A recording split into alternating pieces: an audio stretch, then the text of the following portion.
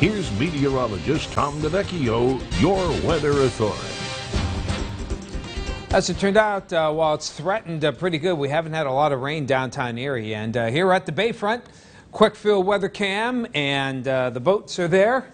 You can see here on the, the left side, uh, we have the boats like the Pride of Baltimore 2, and of course, uh, we have uh, the Brig Niagara here along the tower, and uh, we've had uh, clouds that look like this. They're big, they're ominous looking, uh, but so far we have the sun coming out here, and uh, they really haven't done a whole lot. The latest in our storm tracker showing again the line came through, clipped Erie uh, but pretty much uh, almost a complete miss for us.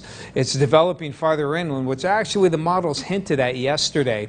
Uh, and uh, we have uh, these uh, showers and some heavy downpours moving through Edinboro. A little bit of back building, as we call it. You see another secondary line forming close to the I 90 but so far it's staying south of the city. So if you are planning to go to tall ships, uh, I think we're, you know, I'm not ruling out there still could be uh, some uh, possible uh, showers or storm developing. Uh, in the case of Ava as well, which begins at 5 o'clock today. And now Crawford County Fair, yeah, looks like we're going to get some rain here, uh, probably within the next half hour. So that's something to watch out for as well. But if you're going to tall ships, uh, bring an umbrella just in case, uh, but uh, the threat is probably at or less than 50-50 right now. Temperatures around the area lower to mid 70s uh, with the clouds, though with the sun coming out, uh, especially out toward Warren County, which had decent sun this morning.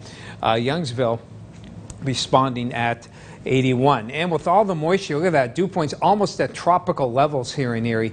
Uh, so that's why we can't completely rule it out. And uh, you'll notice here, sun breaking out uh, right now in Erie. But clouds starting to build to the west again out over the lake. Uh, those could build in and may see some formations here. So we have a lot of possibilities for maybe more showers and storms during the afternoon. But they will be scattered on and off if they do occur at all here along the lake shore. After that, uh, things uh, start to calm down everywhere by early evening. Clouds will hang tough for tomorrow on that northeast wind. Might actually be kind of chilly in the morning, but uh, we'll have some more sun breakout during the afternoon, and that'll lead to some high humidity for Sunday. So forecasting along the lake shore, partly cloudy skies. There's a chance of some scattered showers and storms. Temperatures in the upper 70s. On the inland side, we'll have some scattered showers and storms. That line going through in the next hour or so, and then a uh, chance of some uh, more scattered storms later in the day. Temperatures in the middle to upper 70s. Chautauqua Allegheny area, increasing clouds. You'll see some scattered showers and storms through the afternoon. Most should be done uh, soon after sunset and then mostly cloudy for the rest of the night.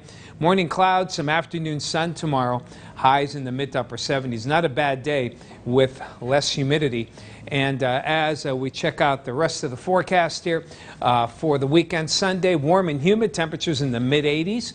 And then uh, we'll have uh, upper 80s Monday with scattered showers and some storms as well. Better chances on Tuesday. And you can uh, get the